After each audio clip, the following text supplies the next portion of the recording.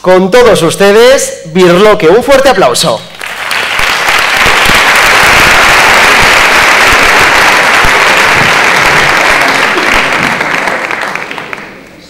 Buenas tardes.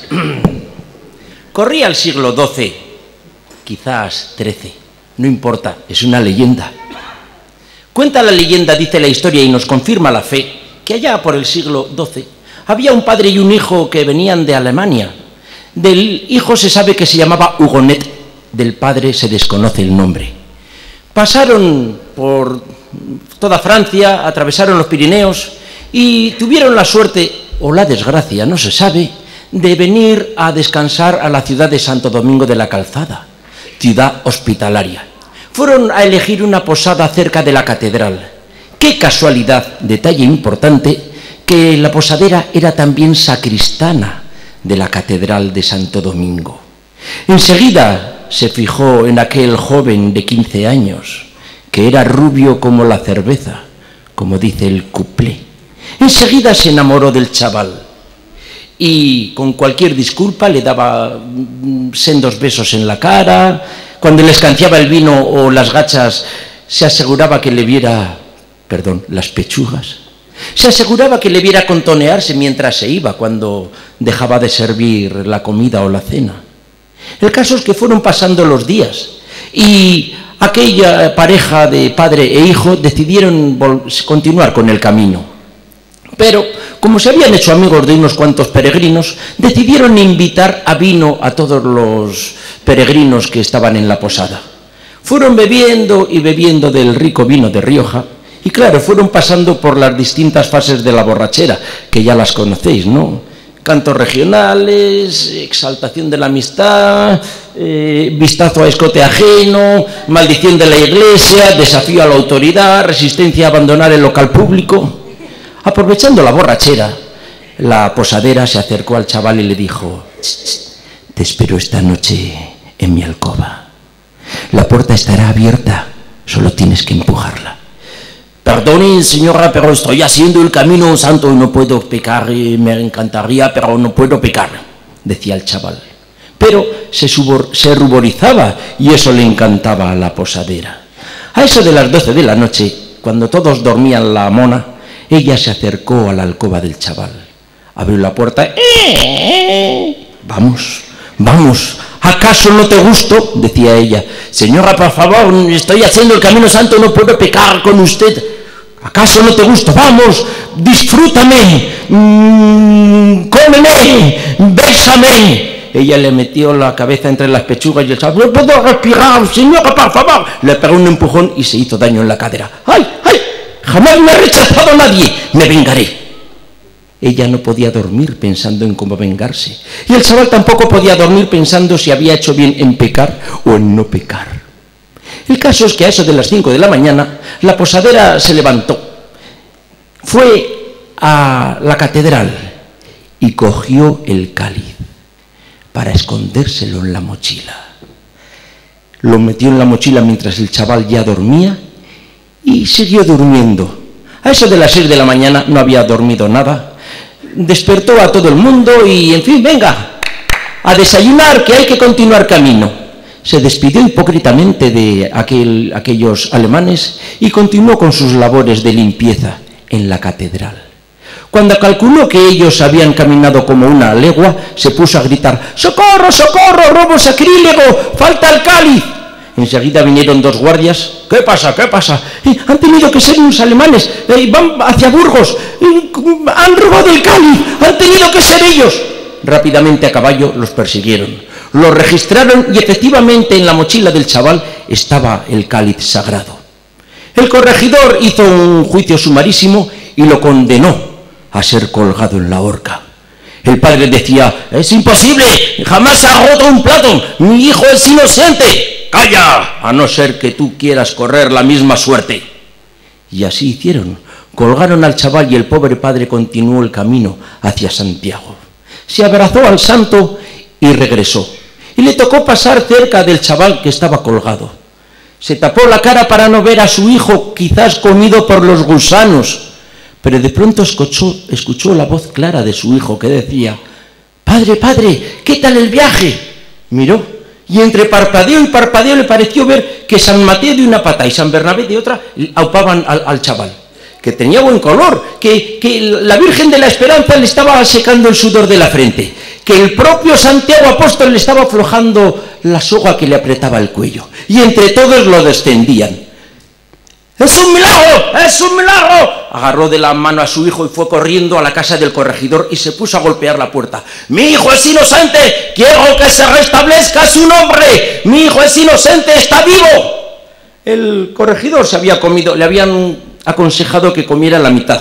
Así que se había comido medio toro, medio rostrizo, media cazuela de lomo con pimientos. Eh, como ensalada se había comido unas albóndigas y de postre se iba a comer un pollo asado. Justo antes de comerse el pollo preguntó, ¿qué alboroto es este? ¿Qué alboroto es este? Eh, señor corregidor, el, el, almán, que, el que usted colgó a su hijo, que dice que está vivo su hijo y que, y, que, y que es un milagro y que usted se equivocó, que ese niño es inocente. ¿Que es inocente? ¿Que está vivo? está tan muerto como este gallo que me voy a comer ahora mismo. Pero el gallo o gallina de pronto se despertó se cubrió de plumas, resucitó, se le cagó en el plato y salió volando por la ventana dejando a todos los presentes con un palmo de narices. Y es así, queridos amigos, como Santiago de la Calzada, Santo Domingo, Santos, ¿qué digo? Santiago Apóstol bendijo la ciudad de Santo Domingo de la Calzada haciendo que cantara la gallina después de asada.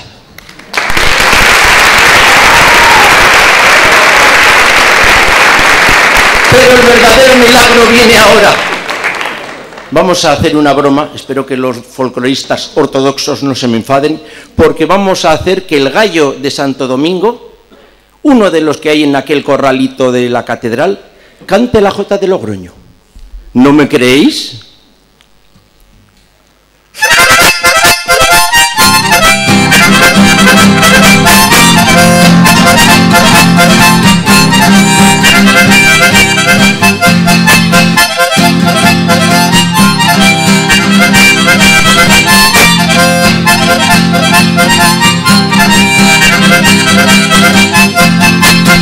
Calle Mayor del Labroño, calle Mayor del Labroño, cuántos suspiros me debes, cuántas veces he la sombra de tus paredes, cuántas veces he rondado la sombra de tus paredes.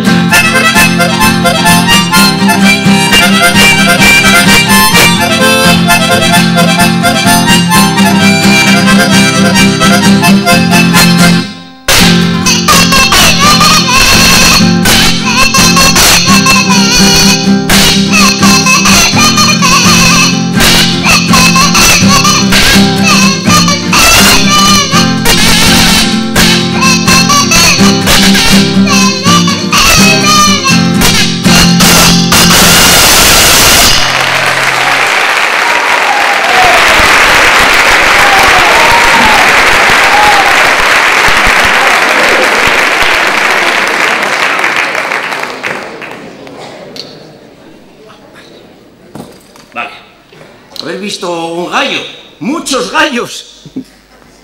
Bien, reveladas al estilo castellano con tema de La Rioja.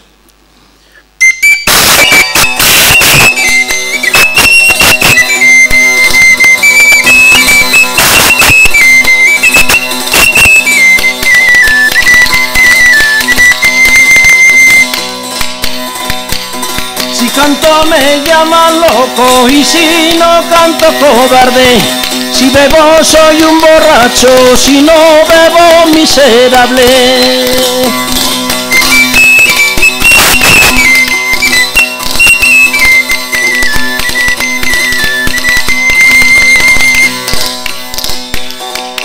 Dedicado a mi pueblo. Para no andar descalzo, yo quiero ser zapatero es decir, es presidente y no un currante de Arnedo. Que calorra no es calorra, que parece Washington.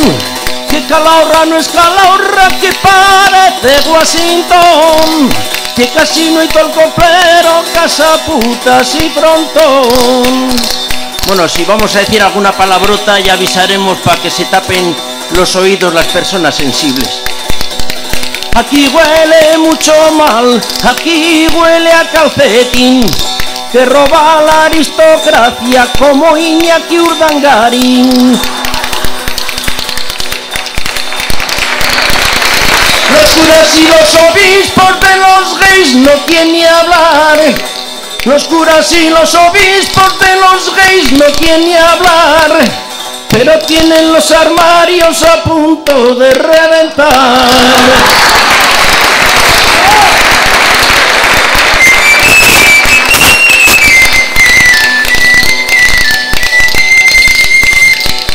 Las chavalas de Aro me parecen mucho majas, pero como no me quieren tendré que hacerme a, a- la idea, tendré que hacerme la idea.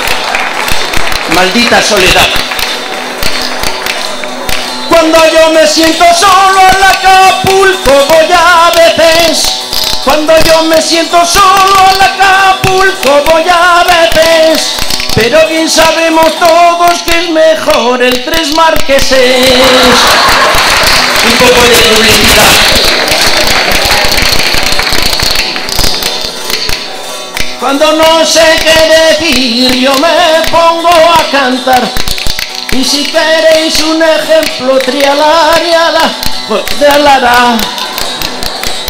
Esta copla que he cantado no me ha salido muy buena. Esta copla que he cantado no me ha salido muy buena. Ni rimaba ni encajaba y he quedado de puta pena. Allá va la despedida, la que echan en alberite. Échate una novia fea pa' que nadie te la quite.